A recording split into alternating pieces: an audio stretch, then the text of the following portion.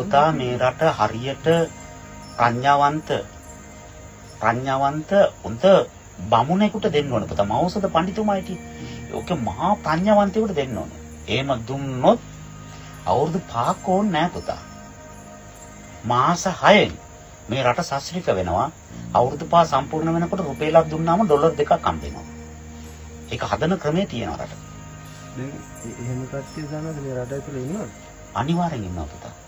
ඒ අයට තැන දෙන්නෙත් නෑ, ඒ අයව ඉස්සරහට ගන්නෙත් නෑ. ඒ අයව ගත්තොත් මේ අයට ජීවත් වෙන්න බෑනේ. පරම්පරා 200කට හම්බ කරන්න බෑනේ. ඒත් ඒ අයට ඉස්සරහට එන්න දෙන්න. දුන්නොත් ඒ අය හම්බ කරන්නේ මුළු රටම ගොඩ දාන රට බබලනවා පුතා.